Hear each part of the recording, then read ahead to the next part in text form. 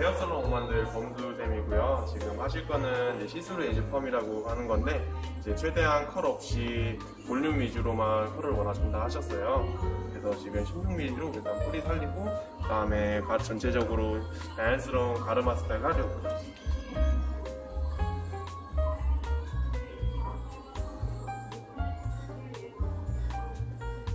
그 아이롱 펌하고 일반 펌이 있잖아요. 네. 그 차이점을 느끼고 계신가요? 아, 네, 확실히 좀 다른 것 같긴 해요. 음, 그래요? 어, 네. 어 떤 느낌이 있어요? 아, 일반 펌은 그냥 로트를 말고 파마 약으로 마는 거잖아요. 네, 그래서 솔직히 말하면 거의 그냥 와인 파마를 마는 건데 네, 이제 아이롱 펌은 제가 직접 결 작업도 하면서 직접 디자인을 하는 거다 보니까 일반 펌보다는 이제 고객님들이랑 상담을 했을 때 또 정확하게 파마를 말수 있는 그런 게 더 좋은 것 같고 네, 일단 최대한 꽃수를 피면서 들어가는 거다 보니까 네, 일반 펌처럼 말렸을 때 부수수한 건 다 잡아주고 네. 머릿결이 좀 더 윤기가 나는 것 같아요. 그래요?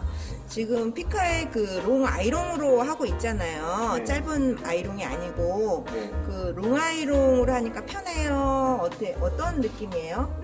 음, 네, 훨씬 더 좀 빠르고요. 네, 그다음에 좀 힘이 좀 더 있는 것 같아요.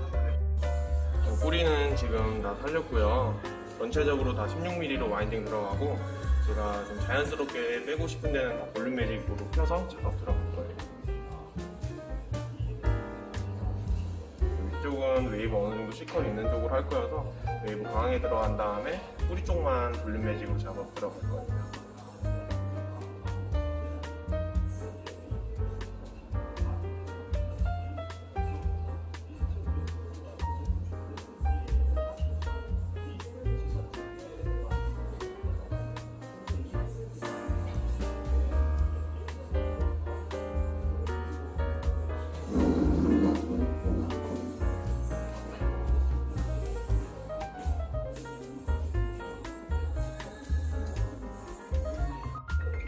뿌리 다 살리고 와인딩 들어가는데 이게 제가 하면서 느끼는 게 처음에는 어, 다100% 건조한 다음에 파마를 말하는데 처음에는 잘 말리, 말리는 건 되게 빨리 말려요. 근데 중하고 나면 다시 생머리로 뽑거든요.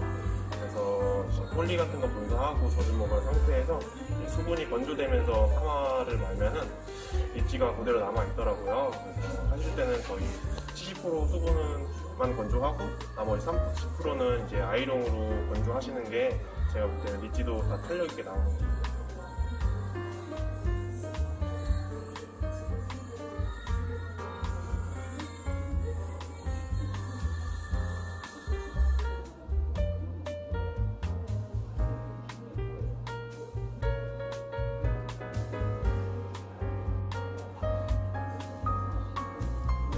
수분 같은 것도 더 중요하긴 한데 이제 항상 이제 원장님이 테니션 중요하다고 말씀하셨는데 어, 최근 들어서 테니션이 뭔지 좀 느꼈는데 텐션이란 게 별거는 없고 다 이제 와인딩을 들어갔을 때 이제 모발이랑 이제 아이롱이랑 이게 흔들림이 없어야 된다.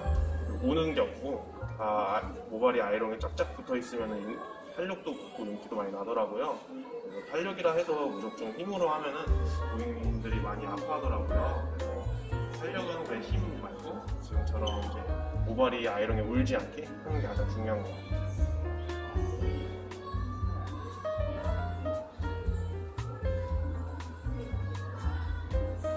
그렇게 되면은 윤기도 처음엔 안 났는데 이게 울지 않게 좀 텐션 있게 들어가니까 윤기도 많이 나더라고요. 그래서 파마 안 나은 이유를 생각해 보니까 수분이랑 이 울지 않는 거두 개만 좀 중요시해도 어, 원하는 리프트는 다 나오는 거예요. 헤어라인이랑 양 사이드 쪽은 다 볼륨 매직 식으로 다 일자로 리치 다 폈고요. 지금 와인딩은 다 끝났고 이제 안개 부분으로 중화하고 마무리 사진 다시 보여드릴게요.